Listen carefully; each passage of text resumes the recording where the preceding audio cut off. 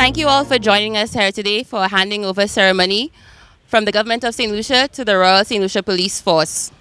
I would now like to call on the Minister for Home Affairs to deliver some brief remarks. On behalf of the Government of St. Lucia, it gives me great pleasure to present this very important tool to the Royal St. Lucia Police Force so that they can continue to do their work diligently and to serve the public in St. Lucia. At this trying time, we know finances are very hard. However, the government puts our security first. We put our people first, and therefore, the government has decided to invest in this vehicle, and we expect the St. Lucia Police Force to use it diligently, wisely, and to provide top-level security and service to the people of St. Lucia. Thank you, Honorable Virginia Albert Poyotte. I would now like to call on the Commissioner of Police, Mr. Milton Desir, to offer some brief remarks.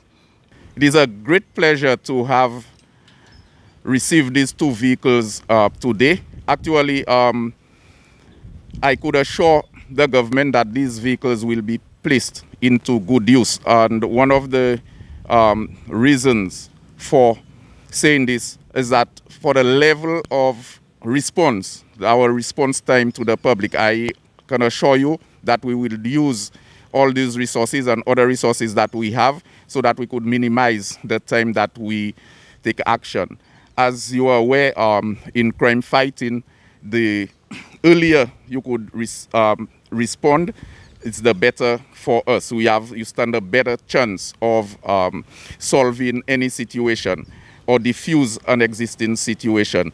As um, I was coming here, I had heads of department calling me whether it is going to them and so on because um, you'd realize that we need the resources all over. But I, let me tell you, in as much as it is too, but it is a lot compared to what we had it to. I could assure you that we will put it into good use and serve the public with those uh, vehicles. So once again, I thank the government uh, on behalf of the Royal St. Lucia Police Force.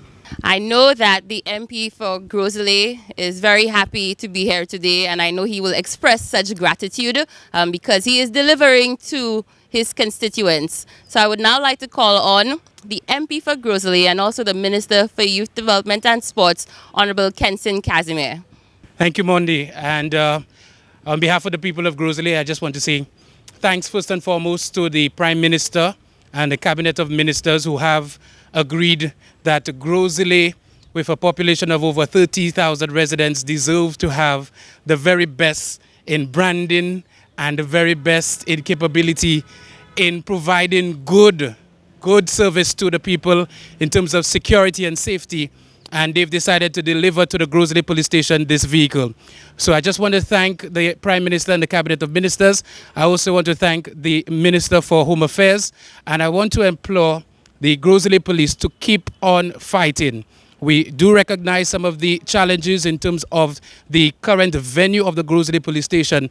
And I would like them to know that we have a Prime Minister and a Cabinet of Ministers that is committed to the safety and security of all the residents of Gros And as their parliamentary rep, I will continue to fight on their behalf to ensure that they continue to get those uh, materials that they need to continue to be successful in the fight against COVID-19 and the fight against crime. Thank you. Thank you, Honorable. So now we'll just have uh, handing over two of the vehicles to the Commissioner of Police. Thank you everyone for coming.